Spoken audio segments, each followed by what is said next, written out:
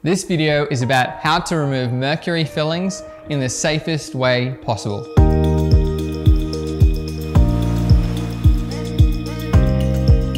In my clinic, I don't use any mercury amalgam at all, but in the past, mercury fillings, or mercury amalgam fillings as dentists normally call them, were placed because of their cost, their ease of placement, and the fact that they were quite strong and used to hold up over time quite well in the bite. People are becoming more aware of their health and what goes into their body. And in the same way, a lot of my patients are concerned with how mercury amalgam fillings are removed from their teeth. They want it to be done in a safe and eco-friendly manner. Without proper safeguards or precautions, you will inhale or ingest more mercury, vapor or effluent than you need to. So in my opinion, it's important that a dentist takes the removal of your mercury amalgam fillings as seriously as possible. There's a few key things that are important to reduce your exposure from this procedure as much as possible. The first one is isolation. We need to make sure that a rubber dam is placed around the tooth that has the mercury amalgam filling. This traps the majority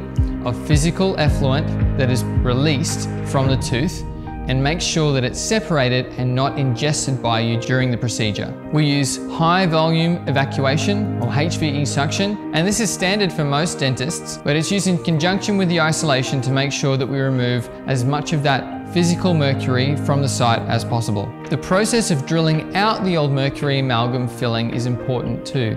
We need to cut it out in pieces as much as possible instead of grinding away the entire body of the previous mercury filling. The specific burrs and dental drills used are actually very important as well in the way that this procedure occurs. Perhaps the most important thing is the removal of the mercury vapor, which is produced during the drilling out of the old mercury amalgam filling. We do this using a special vacuum machine that's placed above your head during the procedure.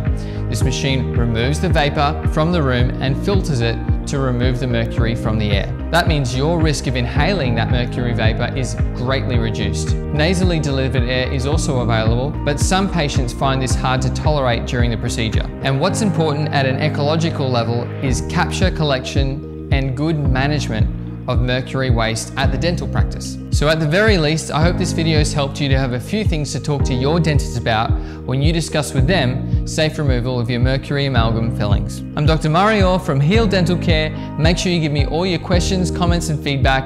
I'd love to answer anything you throw my way. I'll see you on the next video.